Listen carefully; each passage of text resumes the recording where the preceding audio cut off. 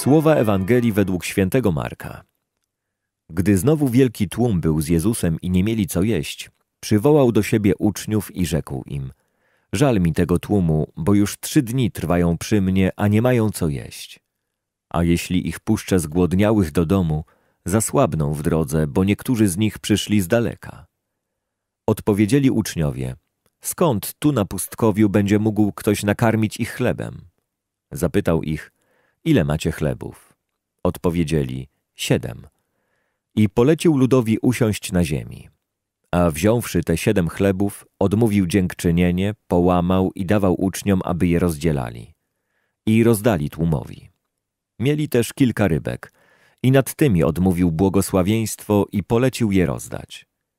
Jedli do sytości, a pozostałych ułomków zebrali siedem koszów. Było zaś około czterech tysięcy ludzi. Potem ich odprawił. Zaraz też wsiadł z uczniami do łodzi i przybył w okolice Dalmanuty. Jezus uczy swoich uczniów trudnej sztuki towarzyszenia innym. Tłumy trwające przy Panu to ludzie spragnieni głębi. Oni szukający pokarmu dla swojego serca. Oni przychodzą do Jezusa, bo faryzeusze i uczeni w piśmie nie mogli im dać tego, co daje Pan. Dlatego chcą trwać przy Nim.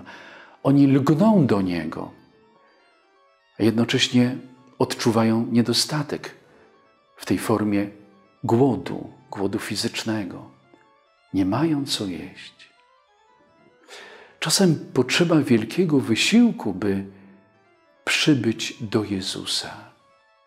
On o tym wie i zna wartość trudu zbliżania się do Niego. Jezus docenia ten nasz wysiłek.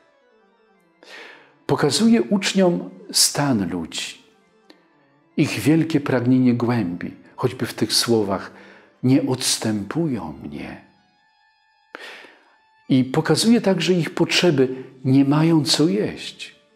Pokazuje ich słabość, opadną z sił ale także ich duchową drogę. Przybyli z daleka. Jezus pięknie maluje przed uczniami to, z kim On, oni mają do czynienia. Czy my też dostrzegamy w osobach, które nas otaczają, ich duchowe potrzeby? Nie patrzmy tylko na to, co zewnętrzne, ale na to, co, co jest w ludzkim sercu, to najgłębszą, duchową tęsknotą. Jezus powierza tych ludzi swoim uczniom. Czytamy, przywołał uczniów i rzekł im, żal mi tego ludu. Y, reakcja uczniów jest y, zaskakująca, oni są bezradni.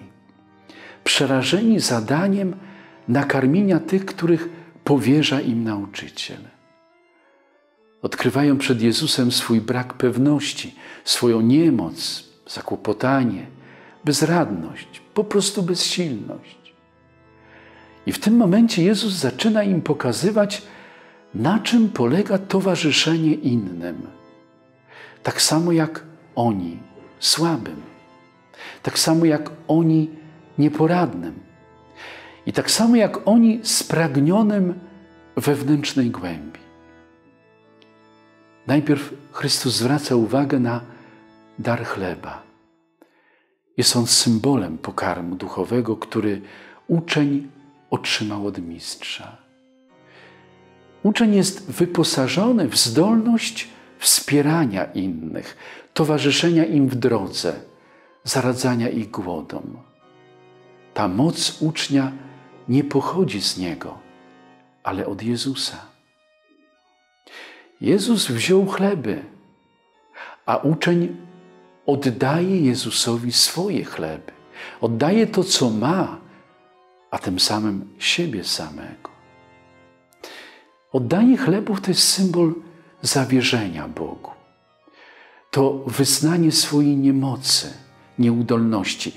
Ja ich nie nakarmię, ale ufam, Panie, że Ty to uczynisz.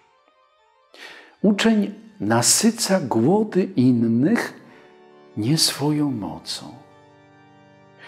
I zanim nastąpi rozdawanie chleba, najpierw jest oddanie się ucznia do dyspozycji.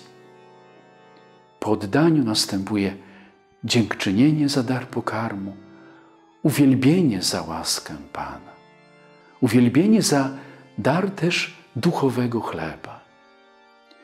Uwielbienie jest wyznaniem wiary w moc Jezusa. Dopiero po takim przygotowaniu uczeń rozdaje chleb, który otrzymał od nauczyciela. Niezwykłe jest to, że im więcej chleba rozdaje, tym więcej go przybywa. Najedli się dosyta, potem ich odesłał. Zadaniem ucznia jest towarzyszyć innym do momentu, dopóki człowiek nie zostanie nasycony i dopóki nie będzie w stanie sam pójść dalej. Jeśli uczeń zawierzy mocy Jezusa, to ci, którzy przychodzą, nie odejdą głodni, zostaną pokrzepieni. Czy ja tak postępuję, czy ja tak żyję? Czy ja nie odsyłam innych głodnymi? Czy wierzę, że mogę pokrzepić duchowo w imię Pana?